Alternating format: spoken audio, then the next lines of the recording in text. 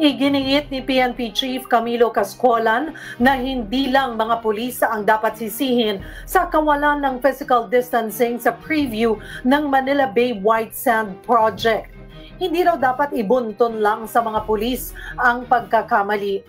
Sinabi ito ni Cascolan matapos si Bakin si Ermita Police si Ermita Police Station Commander Ariel Karamoan na siyang may sakop sa pagbabantay ng Manila Bay.